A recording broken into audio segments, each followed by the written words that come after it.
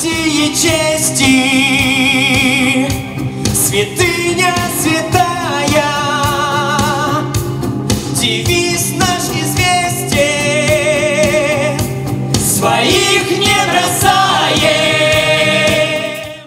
Атмосферу гордости и веры в наших солдат создали участники большого патриотического концерта, который прошел в парке усадьба Кривякина.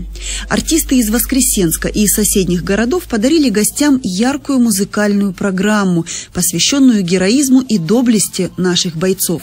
Название мероприятия «Своих не бросаем» говорит само за себя. Концерт благотворительный. Мы бы хотели вот этим концертом собрать какие-то средства, чтобы на эти средства можно было купить какие-то вещи, необходимые для наших ребят, которые сейчас там находятся.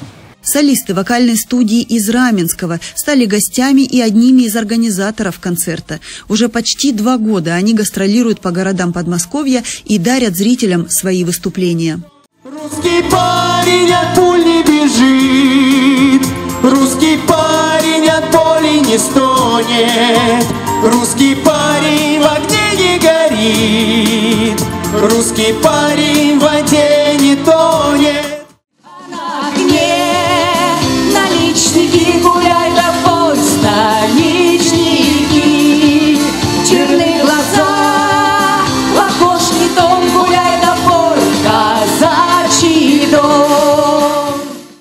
Артисты участвуют в сборе и отправке гуманитарной помощи для бойцов СВО.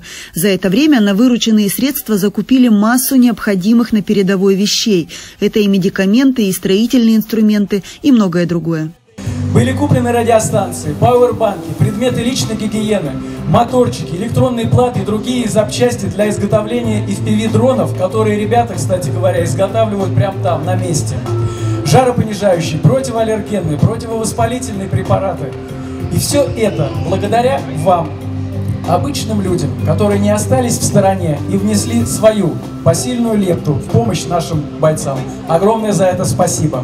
Зрители концерта могли не только насладиться любимыми песнями, но и внести свой вклад в большое дело. Волонтеры молодежного центра «Олимпиец» помогали всем желающим изготовить окопные свечи. А ребята из Всероссийской организации движения первых с особой заботой учили плести маскировочные нашлемники.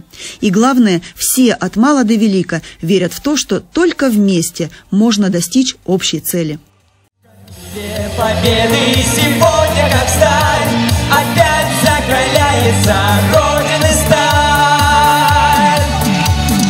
Россия, Россия, в этом слове огонь и сила, в этом слове победы пламя, поднимаем России знамя.